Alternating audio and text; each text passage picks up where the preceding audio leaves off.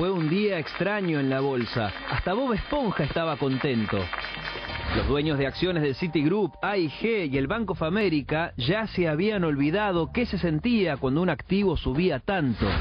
El porqué de tanta euforia lo explica el propio presidente. The good news is that uh, we have one more critical element in uh, our recovery.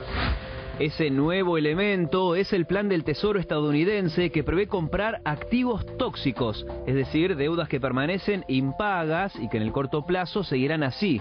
Por ejemplo, las de la gente que dejó de pagar sus hipotecas. Los optimistas dicen que este plan se basa en la premisa del círculo virtuoso que se explica así. The more uncertainty there is about the economy and the more uncertainty there is about the asset, those two taken together have been what's bedeviled us up till now.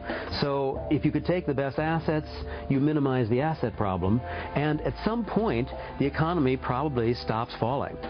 El Tesoro estadounidense aplicará en una primera etapa entre 75 y 100 mil millones de dólares de fondos públicos para ejecutar este plan e incentivar al sector privado a que se sume.